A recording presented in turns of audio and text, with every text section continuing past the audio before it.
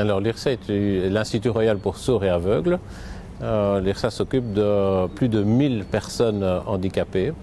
Euh, sur le site d'UCLE, nous avons à peu près 600 personnes, essentiellement des mineurs, euh, qui sont répartis dans trois écoles.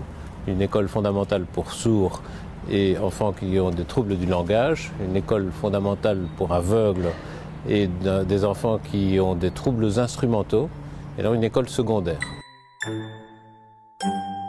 J'ai une classe assez particulière parce que ce sont des enfants qui ne sont pas du tout dans les, apprentissages, dans les apprentissages scolaires. Donc, euh, on apprend surtout euh, aux enfants à devenir de plus en plus autonomes, mais vraiment de l'autonomie de base.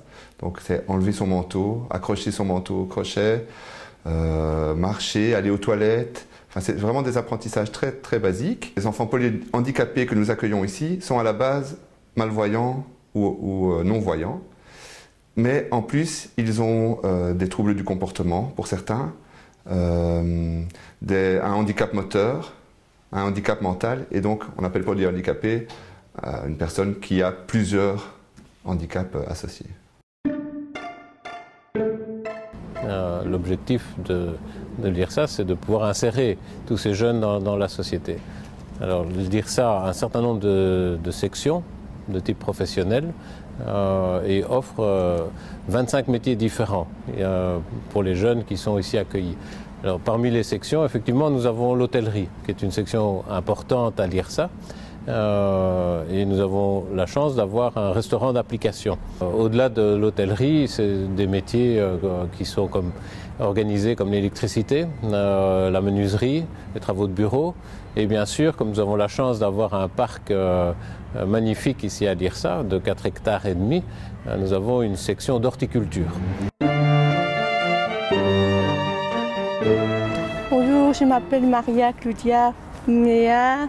J'ai fini l'école ICTA en 2012. Et euh, quand j'avais fini, j'essayais de travailler. J'ai travaillé, mais à un moment, ça ne va pas. Alors, j'ai fait laisser et j'essaie de faire côté études en supérieur pour avoir un diplôme de CAP, pour pouvoir euh, donner aux élèves, apprendre aux élèves, euh, de transmettre quelque chose. Voilà. Mes études à l'IXA c'était bien passé. En plus, j'avais pris l'option hôtelière alimentation.